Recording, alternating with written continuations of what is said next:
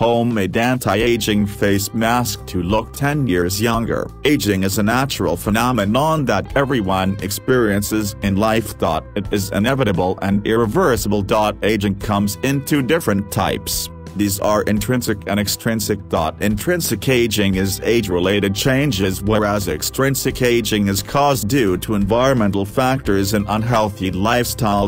In both ways, the production of two vital proteins collagen and elastin in the skin slows down. The skin starts to show the different signs of aging. Especially, in extrinsic aging, the skin looks much older than the actual age but there are a number of treatments that can reverse the signs of skin aging and makes the skin look 10 years younger than the present age.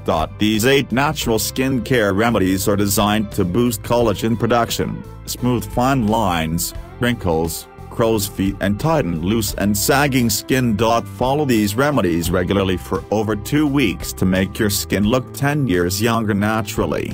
Method and how to use. Vitamin C Serum Recipe. Pure Vitamin C Tablets, 2 nose. Vitamin E oil minus 2 tablespoons, aloe vera gel minus 1 tablespoon, rose water minus 5 tablespoons, dissolve vitamin C tablets in rose water.